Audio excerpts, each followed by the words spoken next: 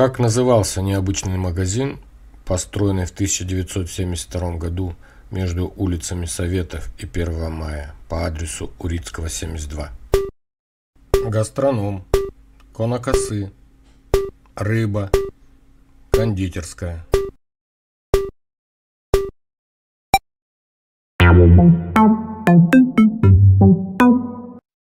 Магазин «Рыба», или как его называли горожане, «Живая рыба», построили в 1972 году. Это был чуть ли не один из первых магазинов по продаже живой рыбы в Казахстане. Помню, пацанами заходили просто поглазеть на этих диковинных рыб, зеркальных карпов и сазанов. В Иртыше тогда такие не водились. Там прилавки были сделаны в виде аквариумов, и продавец с очком доставал нужную рыбу. Точно не знаю, до какого времени просуществовал этот магазин, но потом он стал сначала магазином «Ветеран», в 2016 году это был ресторан 72-я авеню с музыкальным пабом. В настоящее время здесь обувной маркет.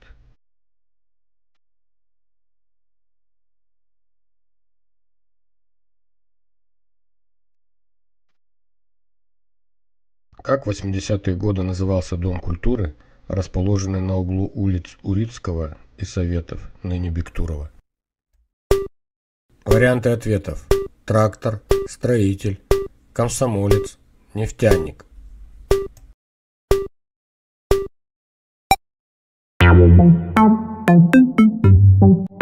Дом культуры «Строитель» был открыт 1 июля 1971 года. Несмотря на то, что в городе уже давно работали дворцы культуры железнодорожников и металлургов, новый компактный дом культуры на улице Советов, по-домашнему уютный, сразу полюбился горожанам. Многочисленные бесплатные кружки не могли вместить всех желающих. С большой благодарностью вспоминают павлодарцы театральную студию и ее руководителей. Кинозал тоже никогда не пустовал. А сколько подошв было протерто на танцах. Все девчонки были влюблены в солистов вокально-инструментального ансамбля «Чародеи», которым руководил Юрий Носов. Их популярность в городе была огромной. Это были настоящие звезды Павлодара. Позже, ближе к 90-м годам, танцы стали называть дискотекой. По воскресеньям в ДК собирались филателисты. Они обменивались марками и вели только им понятный разговор. Строитель объединял людей с самыми разными интересами и увлечениями, независимо от возраста. А потом сменилась эпоха. Кинотеатры и дома культуры стали превращаться в рынки, торговые базы, склады и магазины. Не миновала эта участь и ДК-строитель. Он превратился в торговый дом. До неузнаваемости изменился облик здания в последнее время. Сейчас от бывшего ДК уже ничего не осталось.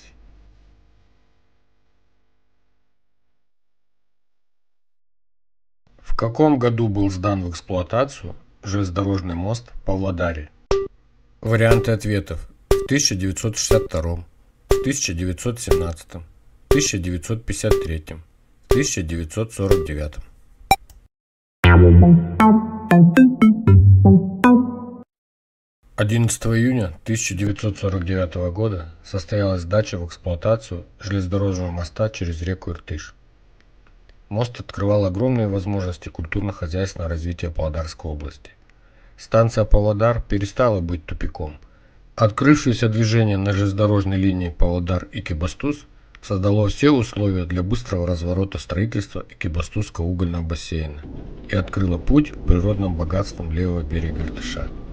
Однопутный семипролетный мост построен при прокладке железнодорожной линии Акмолинск-Павлодар. Возведение железнодорожного моста началось еще в 1941 году. Мостостроители и грузовые автомобили со всего Советского Союза начали прибывать в Павлодар еще в мае. Работы были начаты в том же году, с кропотливых, малозаметных постороннему взгляду кессонных работ под водой. На 1 ноября 1942 года рабочих, занятых на строительстве моста, насчитывалось 927 человек. В 1942 году начали испытывать острую нехватку кадров. Была организована школа ФЗУ. Отозванных на фронт работников заменяли жители из числа Павлодарской области. Весь город дружно строил мост. В 1943 работы законсервировали, но после окончания войны строительство возобновили. 30 марта 1949 года проходило испытание построенного через реку Иртыш железнодорожного моста.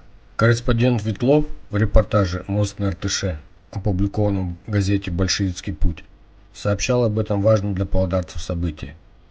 Необыкновенное оживление было на берегу 30 марта. У свежевыложенных путей, стремившихся к мосту, собралась большая группа людей. Были в числе собравшихся не только мостостроители, но и гости из Акмолинска – со строительных участков новой магистрали, руководители области. Волнующее ожидание было написано на лицах всех присутствующих. Со стороны станции Павлодар показался медленно движущийся состав. Это были груженные платформы, двигаемые мотовозами. Состав вели машинисты Иван Ковалев и Трофим Коваленко, которые до этого переправляли строительные грузы на левый берег реки через ледовую переправу.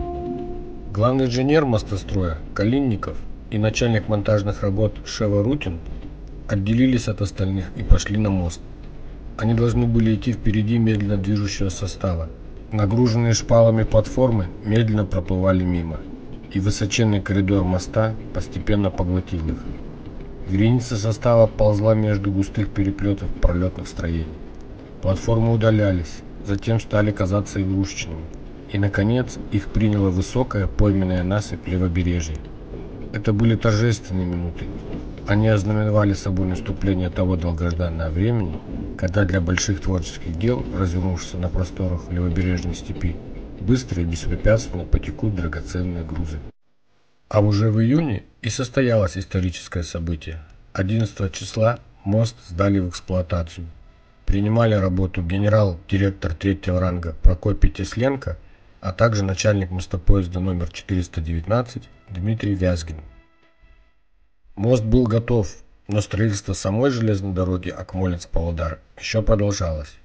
Первый поезд из Акмолинска пришел в Павлодар только в 1953 году. 20 декабря 1953 года на станции Ерментау состоялся митинг по случаю ввода в строй новой линии. В ходе строительства железной дороги Акмолинск-Павлодар было уложено 546 километров главных, станционных и подъездных путей. Возведено 198 различных сооружений. Выполнено около 11 миллионов кубических метров насыпи. Возведены сотни производственных и социальных объектов. Вдоль трассы выросли большие рабочие поселки Сарыоба, Ерментау, Уленты, Калкаман, Коржункуль и другие. Мосту уже более 70 лет, а до сих пор с его опор не отлетела ни одна плитка. Я часто проезжаю под этим мостом на лодке и всегда поражаюсь качеству тогдашних строителей.